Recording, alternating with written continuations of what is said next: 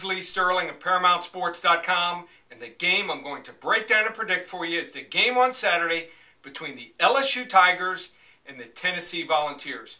Before I break down and predict this game, just want to remind everyone go to the website ParamountSports.com. We've now had 19 straight winning seasons, and just for signing in, we'll email you a free selection each and every week. Now, on to the game on Saturday. The LSU Tigers are laying 15 points against Tennessee. This game is being played in Knoxville. Now, last year's game, everything seemed to go right for Tennessee.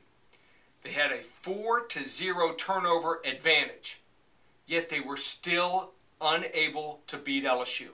Why? Because they only put up 217 total yards.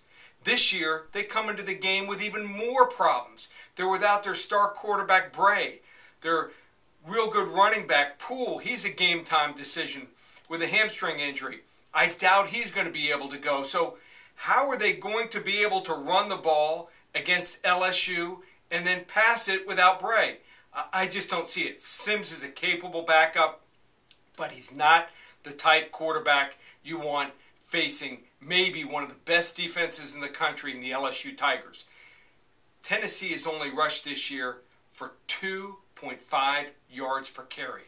Their defense is allowing at least 111 rushing yards this year in every single game, and that's what LSU does. They run the ball, they pound it right down your throat, and then once they've softened you up, then they throw the ball for easy touchdowns.